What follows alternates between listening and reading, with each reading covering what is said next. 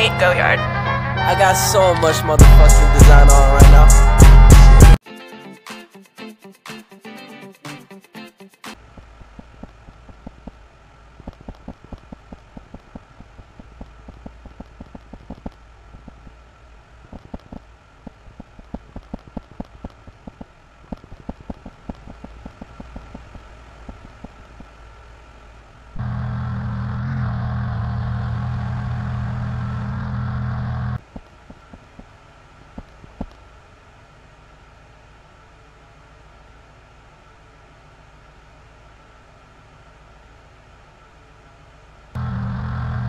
Mm-hmm.